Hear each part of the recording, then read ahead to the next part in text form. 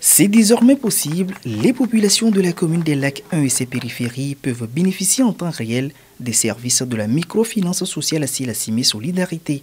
Une agence ANES a été ouverte ce 15 février 2022 à Aneho, un projet rendu possible sur l'initiative du maire Akeriburu de la dite commune.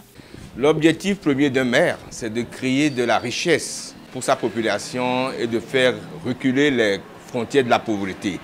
Et donc, euh, Assila est un partenaire privilégié compte tenu de ses performances passées pour nous accompagner dans cet engagement. C'est clair, les attentes sont grandes et les premiers responsables de la microfinance Assila Simé Solidarité en ont conscience.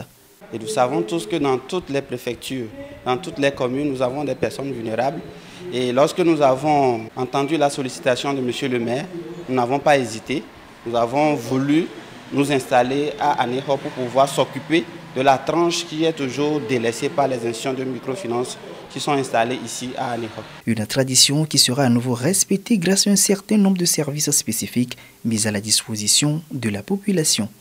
Nous allons offrir naturellement les formations que nous donnons aux bénéficiaires depuis plus de 10 ans et ensuite donner du crédit et le crédit étant donné pour développer une activité génératrice de revenus, cela va permettre de dégager effectivement des revenus qui seront maintenant épargnés.